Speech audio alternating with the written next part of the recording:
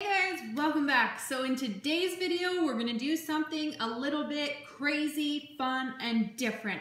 Something I have never tried or attempted before, but I've heard a lot about lately, so I figured I would bring you along on my first attempt and see what happens. Yes, you see a pink custard shower jelly in front of me, and that is a blender in behind. I'm going to try blending or whipping my first shower jelly. If you get it to a really nice whipped consistency, that it makes a lot more and a little bit goes a long way. really don't want to use this whole shower jelly at once in case I completely mess this up. So I think I'm just going to do half and see what happens. What we want to do is get this to the consistency of a moussey texture. Be prepared. You might want to turn your volume down. This is a warning because I have no idea how loud this will transfer to camera. We attempt to record this whipping. Wish me luck and let's begin.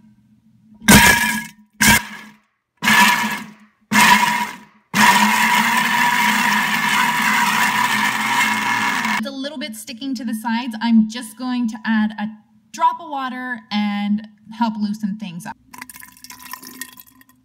Just scrape down the sides a little bit. Now let's give this another whirl.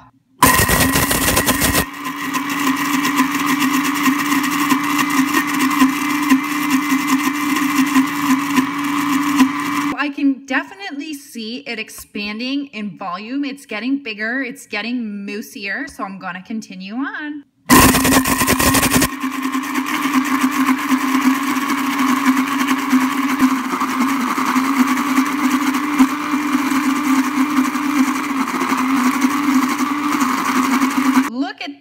Guys. I mean, seriously, this has volumized so much, I can't hardly even see the blades down there in the blender. I'm gonna whip it just a little bit more. I'm pretty sure we're just about there.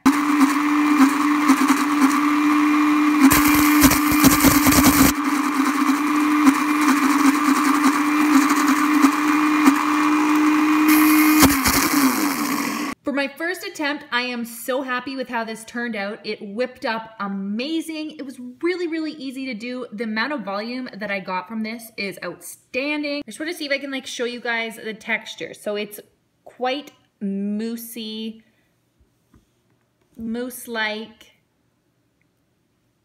still thick and slightly tacky. But to describe it perfectly, it is the exact consistency of a mousse. So from the half a piece of pink custard shower jelly that I cut up and used, we got so much more out of it. Well, everyone, I hope you enjoyed today's video. If you did enjoy today's video, go ahead, give it a big thumbs up. Don't forget to subscribe so you can join me for more videos upcoming in the future. I always try and do fun, different things here on my channel. If you have any suggestions or things you'd like me to try out or demo or whatever, leave me a comment down below. If you guys have tried this whole blending shower jelly process out, Make sure you let me know how it went for you. And as always, thank you guys so much for hanging out with me here today and having fun. At least I had fun. I hope you guys found it interesting too.